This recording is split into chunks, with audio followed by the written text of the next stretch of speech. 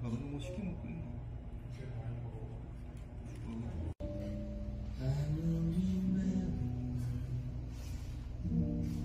트위터라